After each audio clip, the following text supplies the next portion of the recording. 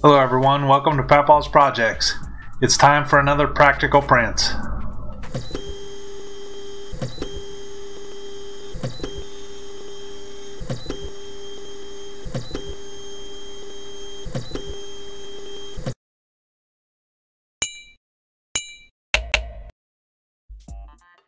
Alright, in this episode of Practical Prints, we are going to be de designing uh, some replacement feet for a wrought iron chair that my wife has and she's restoring. So, ones that uh, were on it were kind of blown out. Bottom.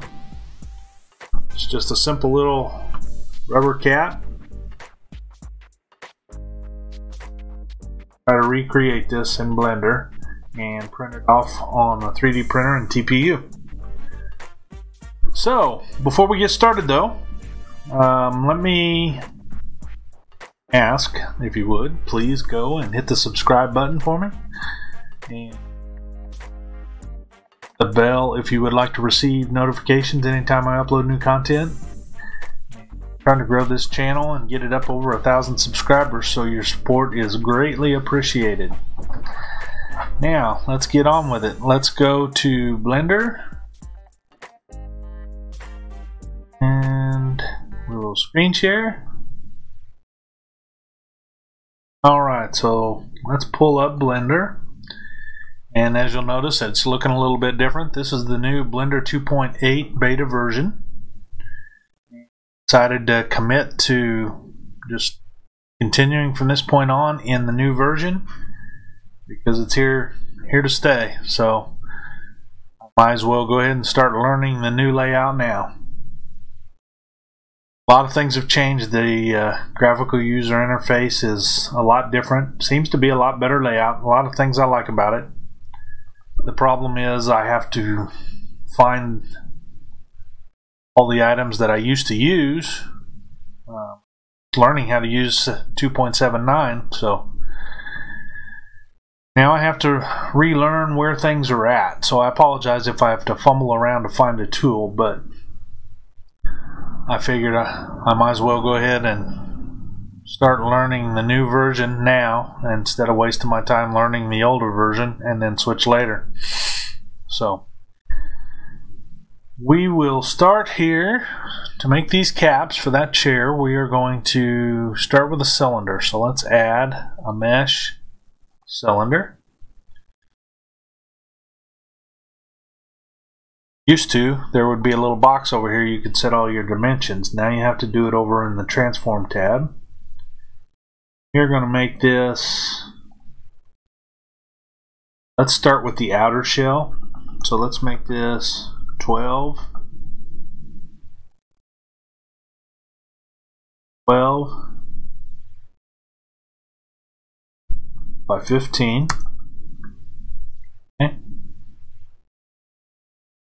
our outer, outer shell. And let's go ahead and switch over to wireframe. And let's switch over to edit mode and go ahead and start the screen viewer. That'll do is it'll give you what I click on the mouse and any keys that I type they'll show up down here in the left corner. Alright, so let's start with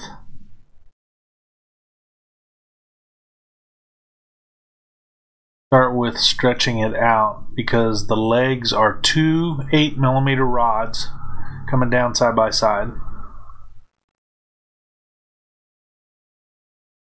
I'm going to select half of it and I am going to hit E for extrude, X for the direction, and 12 millimeters. Okay, enter. All right, now that looks kind of jacked up, and it is, but I think we can fix it. So, there's what it looks like. It still has the basic shape that I was looking for, so it's something to work with. Alright, now what we're going to do is we're going to go to top view. And I'm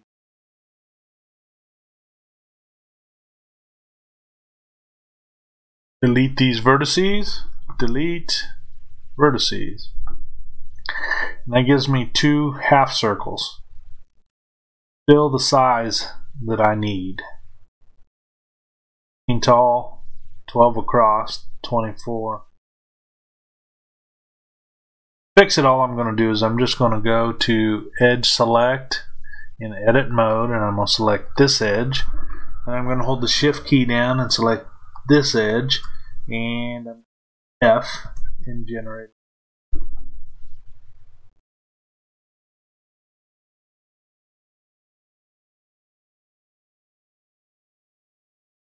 Let's try it again. F. There we go. My keyboard seems to be a little bit dirty. I noticed the N key was sticking. Well, failing, I guess. Out of it and the N key started working again, but I need to blow it out. Okay, we're going to do the same thing to the front. Select the first one, shift select the second one, and then hit F. That gives us a face. Now we're back to a oval, more like what I wanted. Okay, so we're going to come down here on the bottom. We're going to give it a bottom. So I'm going to hold the Alt key down, like the edge. And by holding the Alt key down, it gives you the entire edge, everything it's connected to continuously. And then I'm going to hit F. Alright, now we should have the outside. Solid view, and we do. Okay, looking good so far. Alright. Now, we need to, let, let me go ahead and rename that. And we're going to call that the outer. That's the outer skin of this cap. So, now let's make the inner skin. Let's go to add cylinder.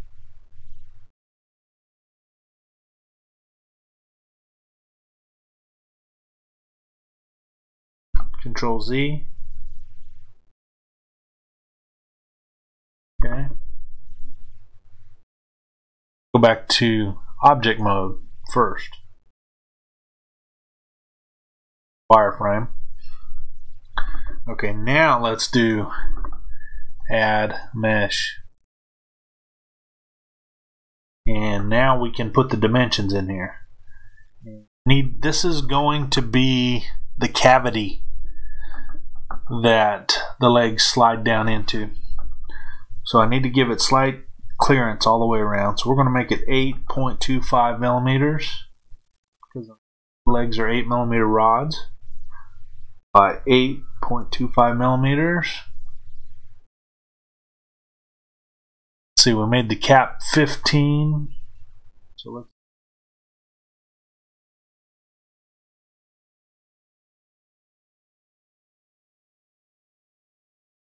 five millimeters. There we go. Whole cap is 15 millimeters, but I don't want I don't want it to bottom, so let's make it 12. That should give it 3 millimeters of bottom. Okay. And we're centered. Alright. Let's move it up. 12. 15. 12. 13. Up. one point five hopefully will bring us right to the top. And it does. Alright, so that gives us 3 millimeters, half, one and a half, two and a half, three millimeters material on the bottom. So when that leg slides down in here, hopefully it will not punch through the bottom. Okay, so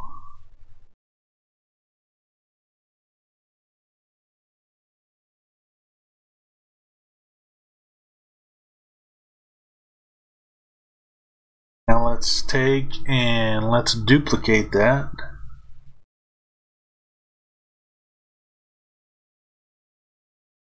Shift D.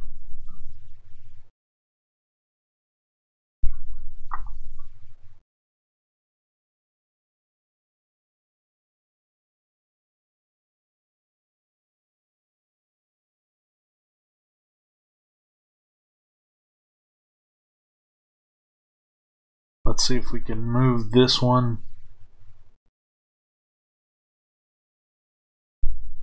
eight millimeters to the right.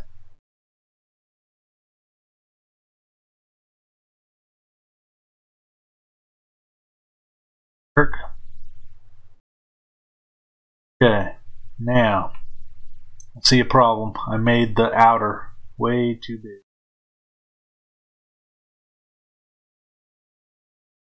X should not be 24.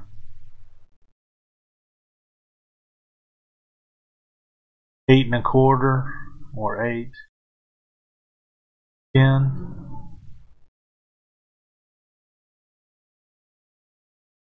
Four millimeters too big.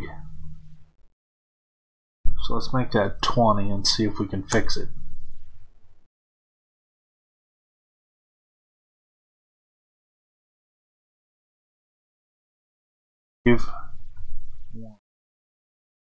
There we go. It's fixable. Still, our double wrought iron leg will slide down into those holes. Okay, now what should we do next? Let's see. Got to do some work work on the inner here first.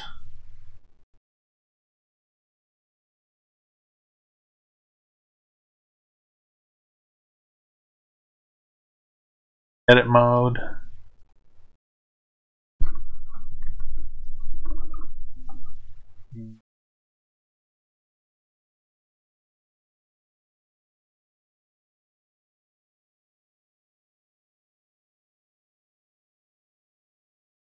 Alright.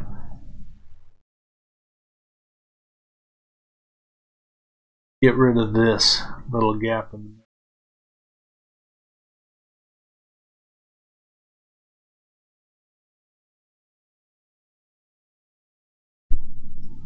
delete vertices.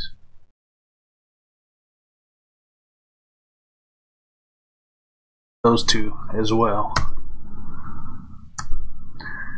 Okay, now we have to go back. Object mode, select the other.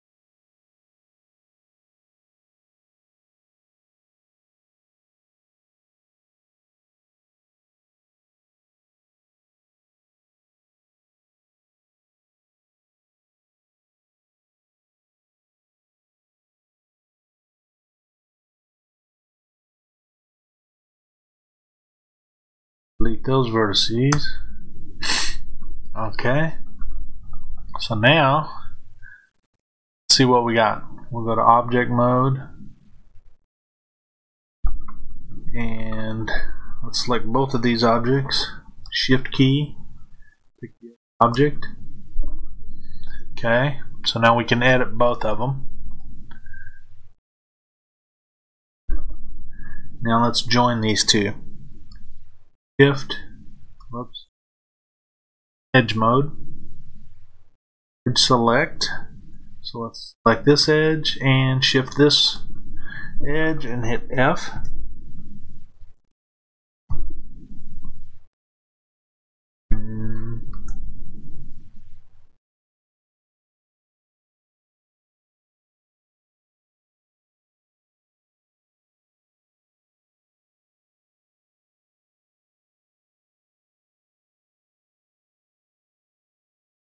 Shift select F. Hmm. By this side. Shift select F. It is not doing it. Okay, let's try let's try something else. Let's go back objects. Both selected. And let's join them I do not recall the command for join, so I'm going to hit the space bar and search for join.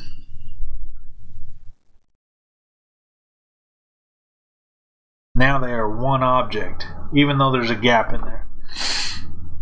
So now maybe we can go in and edit it. let's select this edge, this edge, face. Bingo. Okay, now let me select this edge, this edge, and face. Alright, now we're getting somewhere. Okay. Let's go back to object mode and just take a look at it in solid view.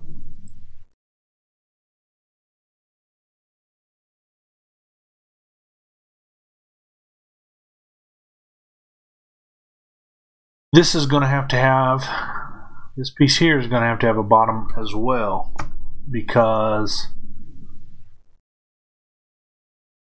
touching the bottom. I don't want the legs to come all the way through down to here. I want the legs to come into here and then stop and have three millimeters of rubber underneath.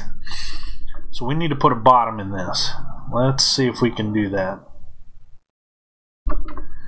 Okay, so let's go.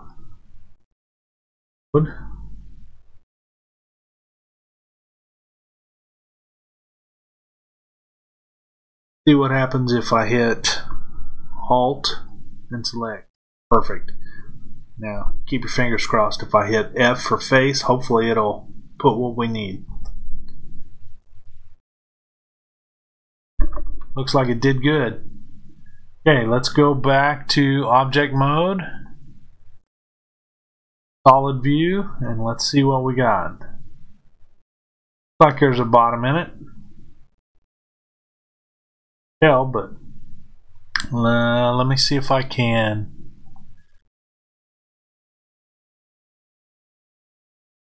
Select a face. And I've not done this yet, but let's see if we can give it a color and make sure that it has its own color. New.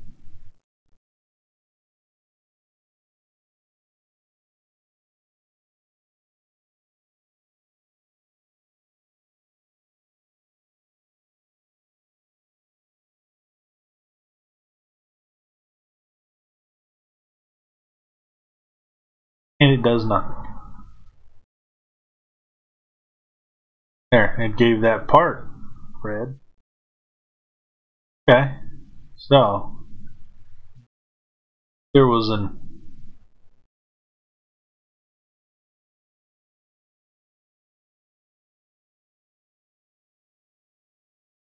thought there was an x-ray view somewhere. Maybe that's uh let's go object mode, maybe it's there. Weird. Div, solid, and wire. No, I don't know where the x-ray view is.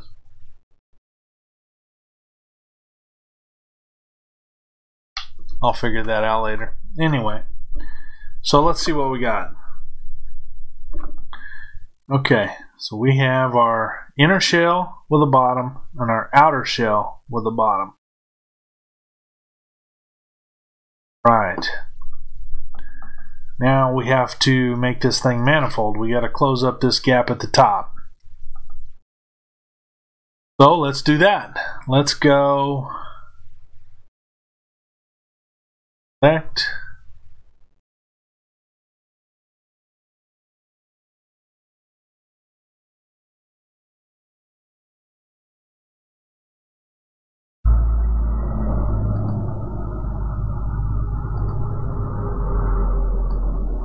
I'm sorry, I'm just looking.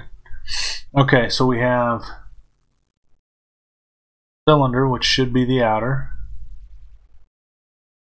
one, which is the inner. Okay, so we'll select that one, and we will select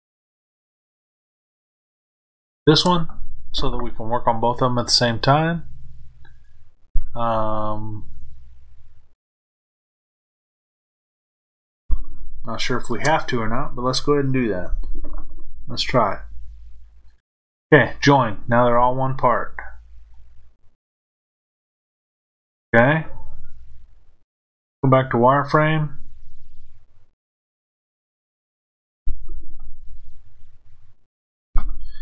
And we will go into edit mode.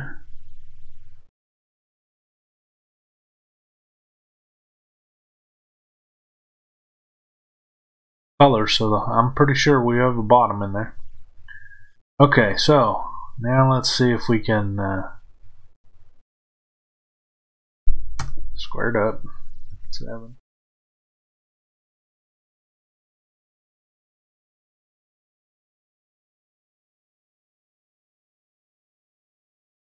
All right.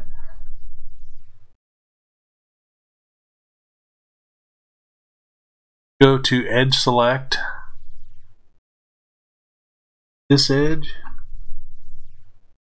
Shift. Select this edge and put a face.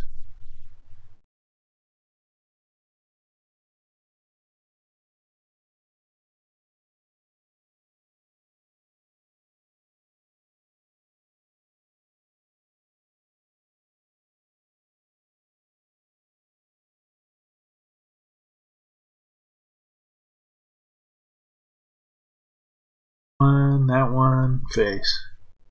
I'm sure there's probably a faster way to do this.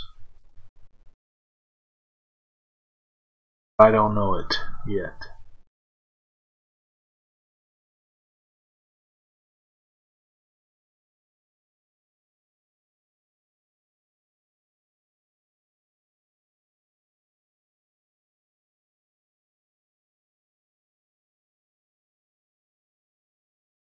Okay.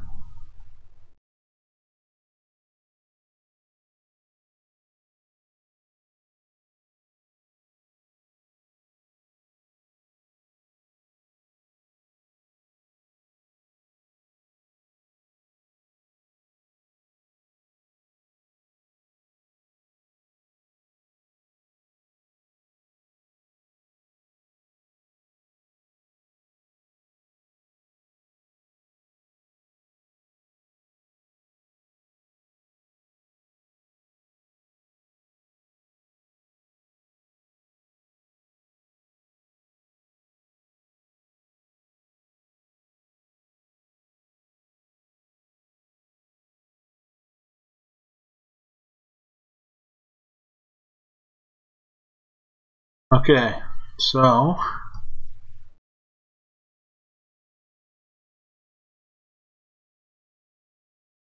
faces.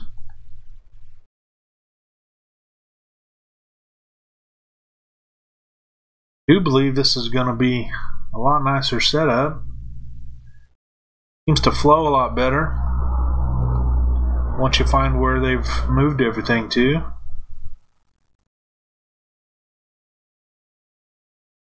Fixed quite a few things in there that were slowing you down.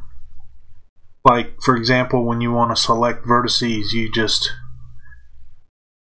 it's more like a normal program where you, if you're in selection mode, you just drag a box. You don't have to hit B and tell it box before you.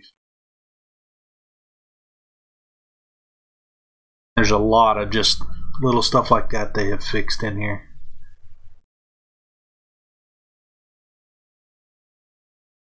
And from what I understand, the biggest factor in this software is that they've changed the rendering engine. They didn't change it, they added one. It's called Eevee. It's based around gaming engines.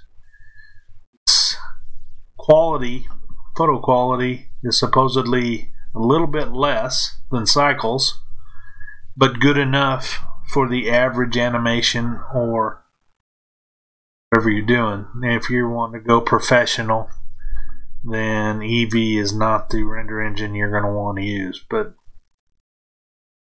they still have the Cycles engine in there. At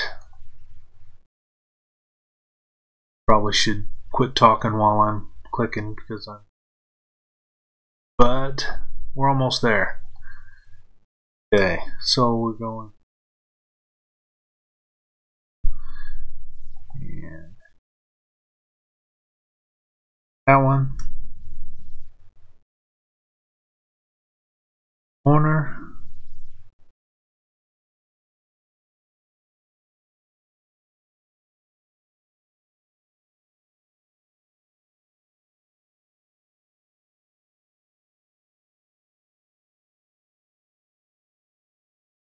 Okay, so that gets us curves.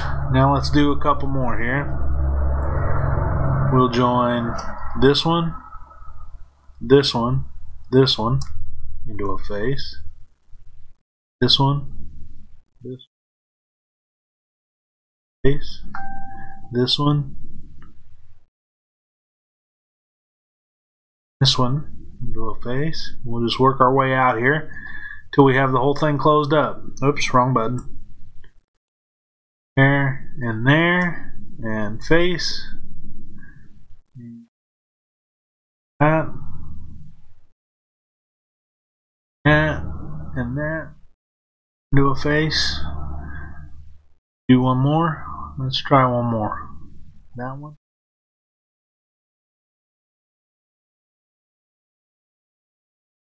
Face. Okay.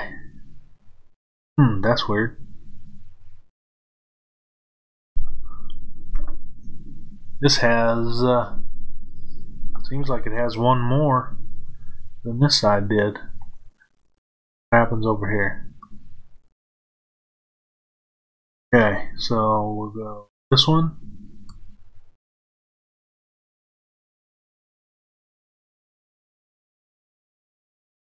Okay, so this one, this one, face,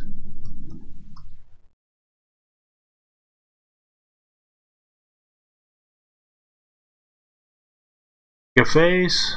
Let's make a face. This one, this one, this one. Face. Almost got it. Bear with me. Face. Shift select, shift F.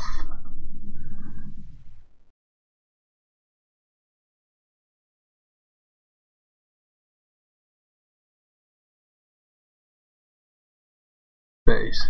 Okay. So let's uh,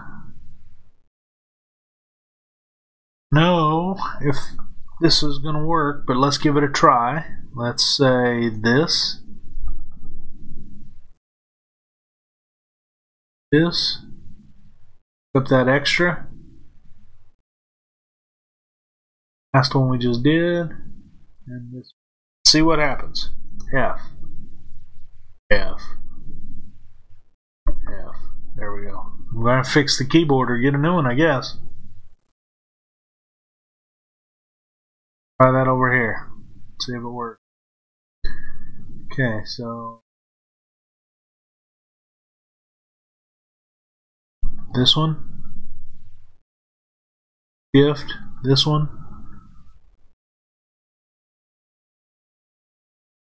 up that extra one, and now face.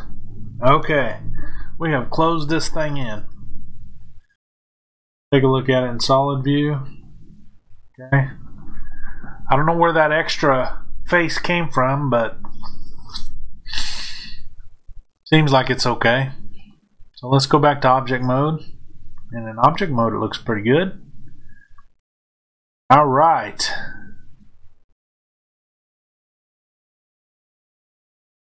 See where the extra face came from. You guys can see it or not, but right here, this is more rounded than this. I would say that I probably deleted a couple extra vertices right here that I probably shouldn't have. But, you never. We're going to do a little tweaking on it anyway. Okay, so now we have one item. Don't have to worry about that. It's looking like workable cap right now. But I want to pretty it up a little bit. Let's see if we can edit mode and let's see. I want to subdivide loop cut. Now, edit mode, let's say all. All. And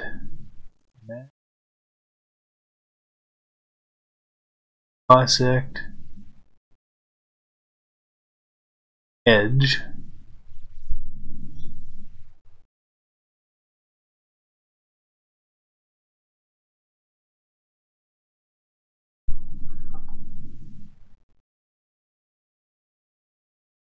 Okay, maybe I do want to do a loop cut. Is that loop cut? Yes, loop cut. All right, we're going to try that.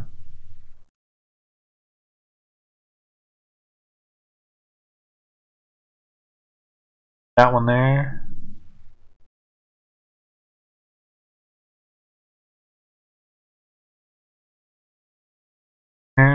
Let's see. I want to start at the bottom, come out, up, I think that'll be enough. Okay. So, let's take... I want to have to use supports on this, but I think we can get away with a little bit of an angle here. So I'm going to say Alt and click this. I want to get off of faces.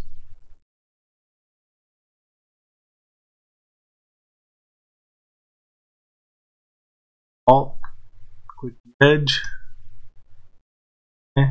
and then I want S for scale.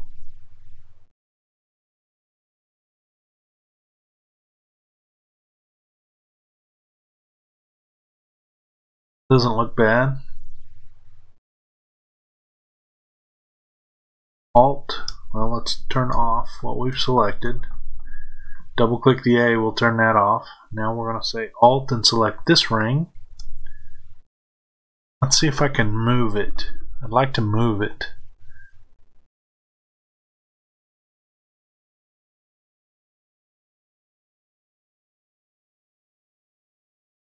I like that. Okay. Now let's deselect AA.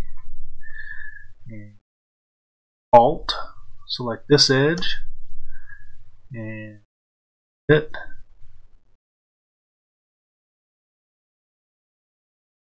A little bit. Okay. AA. One last time. Alt, select this edge, and this time I want to hit S for scale. Give it some taper.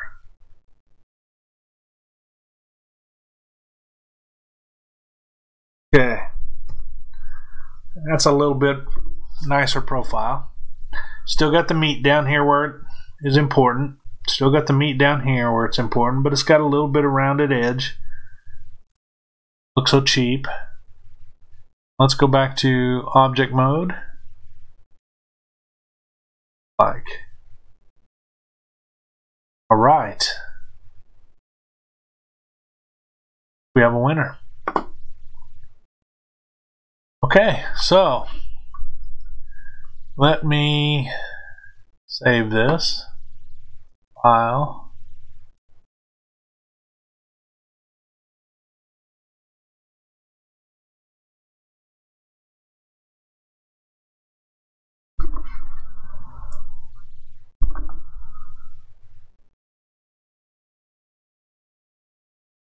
Tried to make one out of PLA last night.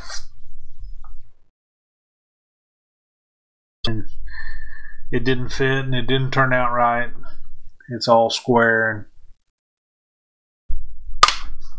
I didn't like it, so decided to start over.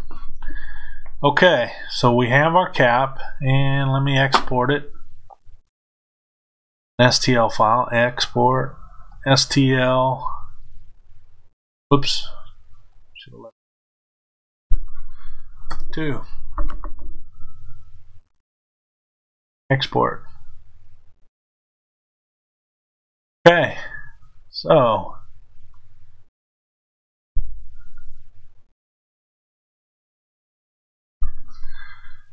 now what I will do is I will video off, print it. Shouldn't take long for for this, so I will I will shut the recording off, uh, print them, and then start the recording back up, so you can see the finished results all in this same video. Some of my other practical prints I've had to do a follow up video because they were going to take hours to print, but I think this one will print pretty quick. So hang on just a second, and I will be back with the printed part.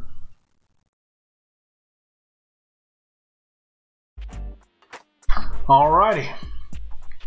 I got the pieces printed out. Printed them out in Strong Hero 3D, I believe it was. Strong Hero 3D, white TPU. So, I think it turned out pretty well.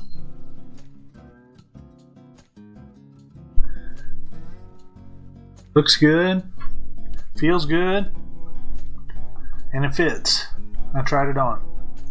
I will show you picture I took. I put them on and took a picture and then took this one off so I could show you on the camera again. So let me pull up that picture. Oh let me turn that uh, turn that animation off. Don't forget to subscribe. I'm gonna turn it off now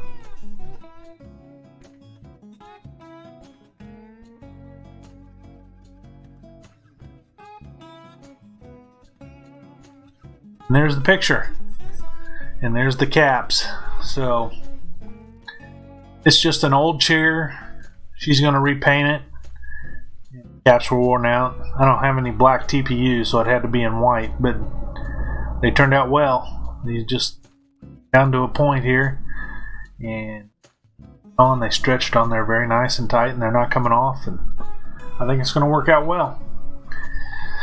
So, I thank you for taking the time to join me for this practical print, and I hope you enjoyed yourself. I hope you saw something. Uh, you saw something you liked. I hope you learned something.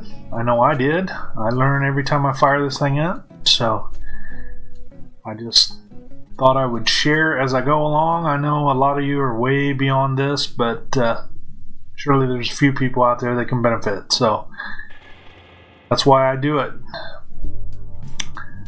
I'm going to close out here and tell everyone to have a wonderful evening. And don't forget to ring that bell. And I will see you in the next episode of Practical Prints or Blender Basics or even maybe the live stream. I've started getting into the live streaming, still working some bugs out there. But definitely when you see me go live, come on by. I'd love to have you. The more the merrier. So, everyone have a wonderful evening, and I will talk to you again soon. Thank you.